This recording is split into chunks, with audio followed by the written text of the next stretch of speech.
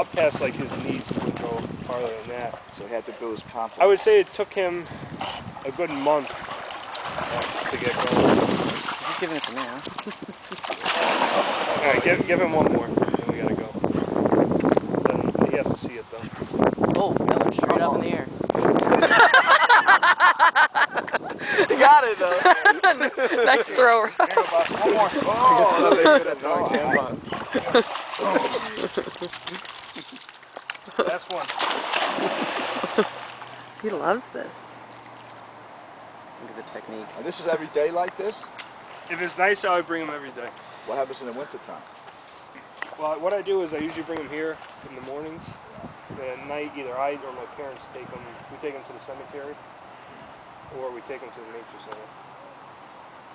But in So the winter, he's not gonna swim, right? No, you're not gonna, I wouldn't think so, but Yeah. who knows with him. Yeah.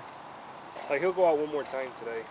I'll bring Such a good to the- boy. This freezes over, right? In No, not really. Like in Massachusetts, they do freeze Yeah. over. I, I, I've seen it before, but usually it's not frozen.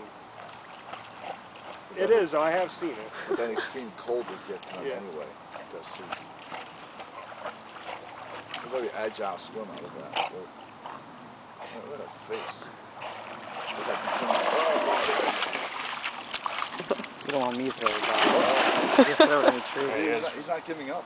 Uh, he'll do this all day. This day. guy do his 50,000 times.